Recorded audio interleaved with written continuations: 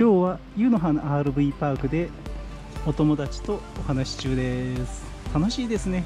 同じ趣味の仲間が集まると。こんにちは。見栄えが悪くてすいません。今日はねお出かけなんですけど洗濯物が乾きません。私履くもんないのでね車の中で乾かそうと思います。エアコンつけてればね走ってる間に乾くでしょう。キャンピングカーの便利な一面でした。それでは出発したいと思います。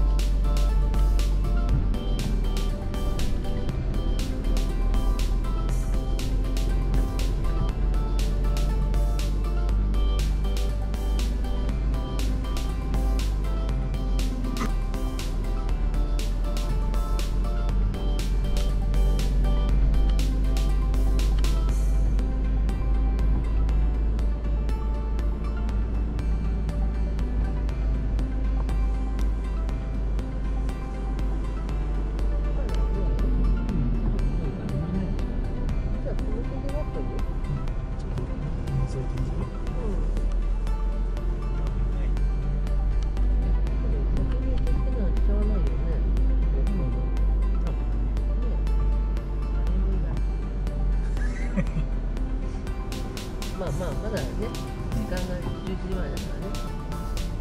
そうですよね前に横付けしてもウォーニングが広げれない。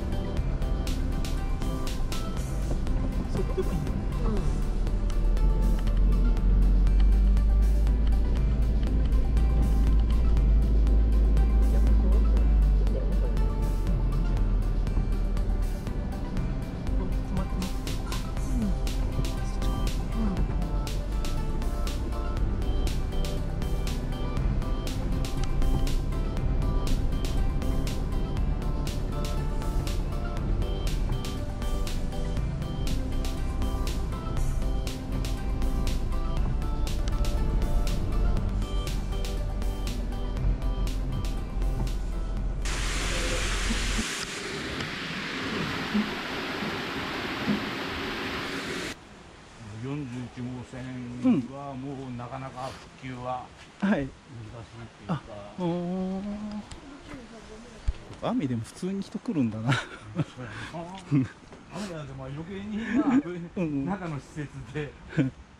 こんなに雨降っとったら誰も行かんでしょうと思いながら。いいこと書けばいいのにボーダー来てから壊れたところとかってあります？あるよいっぱい。そうですよね。まあみんなみんなそうやねまあまあどこもそうやでバンテックもそうやし、うん。どこでもそうやけどまあ手作りやでね。そうですね。回数件数で言えばうん。30件くらいはやったかな、俺。あほんでもまほあ買う前からもうとにかく何かあった時は一回一回その愛知まで、うん。愛知もね遠いもん、えーとはい。ね遠いで、うん。僕はなかなか行けんで。あと豊豊橋か。豊橋かなあどっかね。ほんそうですよね でもまだ自分でいじれるでいいですよね。うん、まあ、あの、しゃあなし自分でいろんなことを、かなりのことやりましたよ。で、一番良かったのは、まあ、後からまたあれやけど、外のアウターのパネル、はい。電気が、あうちまあ、くし形になった一番最初やもんでね。はい。で、後期型になってちょっと変わったもんで、うん。後期型のパネルと変えたり。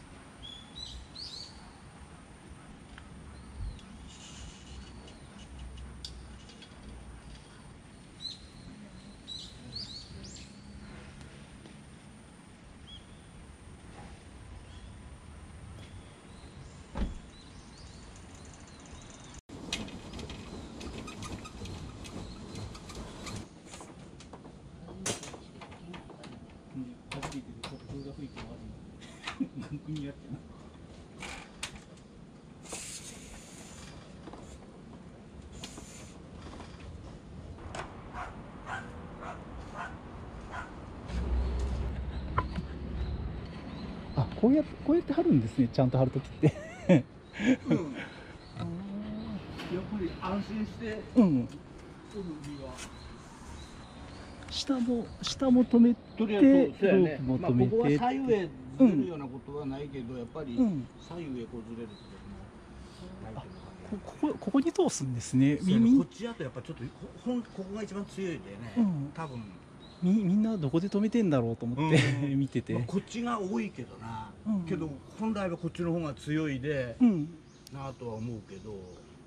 けど結構ねやっぱここにぶっ壊す人がおるでね、壊れたらやっぱりしまえなくて終わり、うん。キャンプ場へ、うん。あの友達呼んで、うん。キャンプ場で。で分解。分解っていう分解っていうか壊してあ壊して。もう曲がったりなんかしとるともう、うん。取れよう外しようもなかったりでね、うん。まあやったけどあのサンダーやら持ってまあ電気のこと100ボルトあるでね、うん。であのそこで切断して全部切ってもらった。とかテープずーっと貼ってんだ。そうそうそう。明るそうですね。あむちゃ明るい、でまだひどい時はこうん。れもするんですよ、あのあシール自体にペヤーンと、うん。あめ真ん中からめくれないように。ここれやな。うん。